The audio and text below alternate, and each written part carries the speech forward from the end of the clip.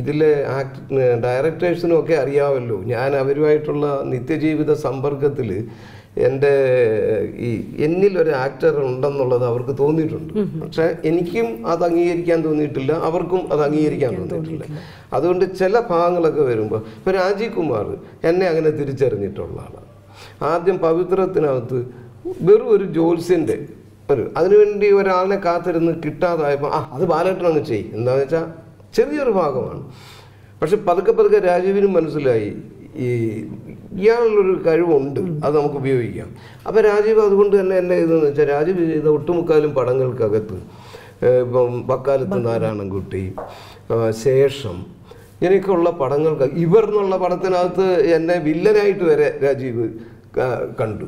അപ്പോൾ ആ രീതിയിൽ രാജീവിന്റെ മനസ്സിലുണ്ട്. ഈ ബാലേട്ടനിൽ ഒരു ആക്ടർ ഉണ്ട്. അതൊന്ന് ഉപയോഗിക്കാം എന്ന് രാജീവ് ചെയ്തിട്ടുണ്ട്. പക്ഷെ ആ സമയത്തൊന്നും എനിക്ക് അതിനുള്ള ഒരു യോഗം അങ്ങോട്ട് തെളിഞ്ഞിട്ടില്ല. സമയമുണ്ട് സമയമുണ്ട്. അപ്പോൾ ആകെ ഞാൻ എന്തൊക്കെ അവിടെ കാണിച്ചാലും അതൊന്നും ഒരു ആക്ടറായി ജനവും അംഗീകരിക്കുന്നൊന്നുമില്ല. രാജീവിന് എന്തോ തോന്നി അങ്ങ് ചെയ്തു. ഞാനും എന്നെ അംഗീകരിക്കാതെ ചെയ്യുമ്പോൾ പിന്നെ എങ്ങനെ ജനം അത് അംഗീകരിക്കുന്നത് ചെയ്യുന്ന നമുക്ക് ആദ്യം ഒരു ഇത് വേണ്ടേ? നമുക്ക് തന്നെ അതില്ല.